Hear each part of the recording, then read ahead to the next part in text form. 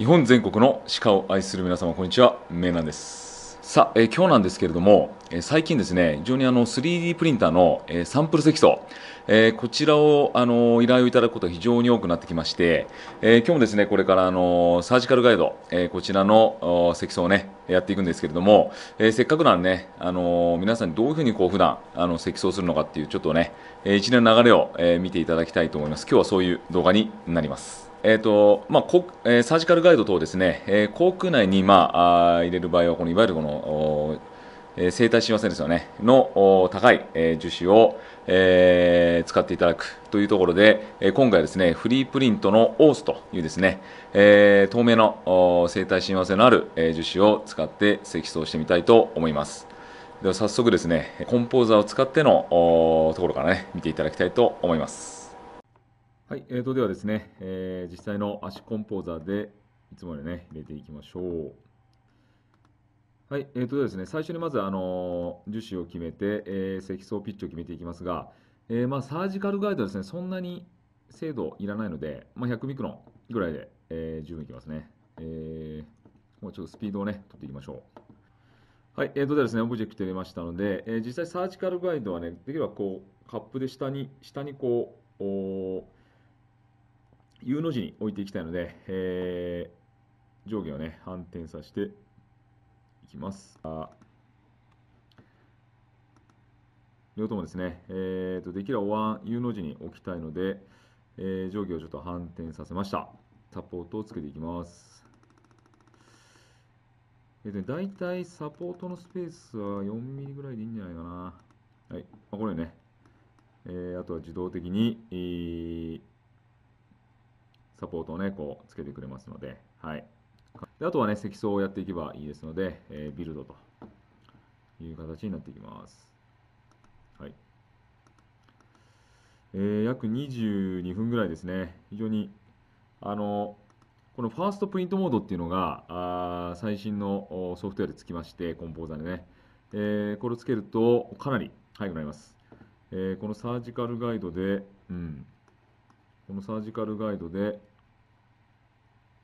えー約20分ぐらいですね。非常に速い速度でやることができます。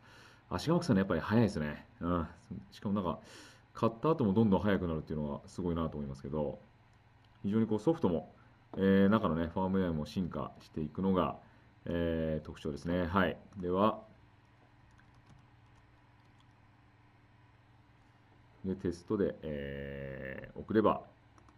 こちらで、えープリンターの方にね、えー送ることができます。まあ、こうやってね、えースライドをこう確認しながらね、まあ、こんな感じで積層していくということも確認することができますので、うんまあ、問題なそうですね。はい、えー、とではですね、えーデータを送られましたので、ちょっと積層を始めていきたいと思います。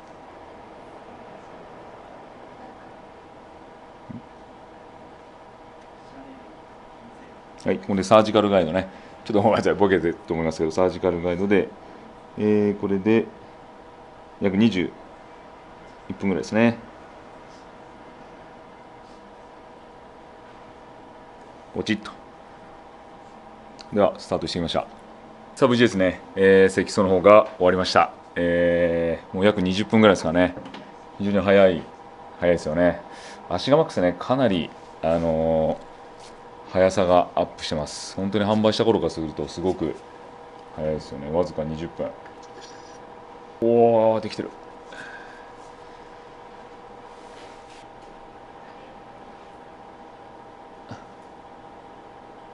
綺麗にできております。はい。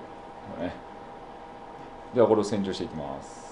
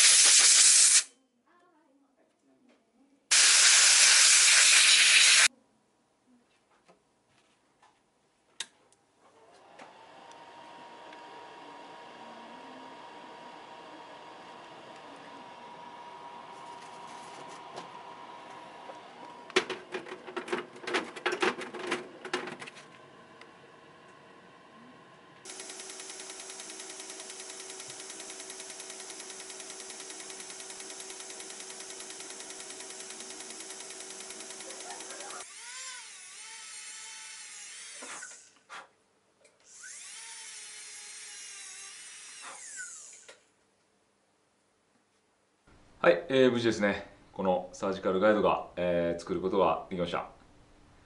えーまだねちょっとあの本当あとね、はいまあこういう形でね。あの無事にサージカルガイドがあできました、えーまあちょっとねあの僕の 研磨だしまだ砂もかけてないんで、えー透明度はまああこんなもんですけども、えー無事に作ることができます、えーこのですね、えー、名南、えーチャンネルではあいろんなね名南の商品を使ったですね実機を使ったまああデモンストレーションね、えーそういったものをどんどんやっていきますのでチャンネル登録をぜひお願いします。よろしく。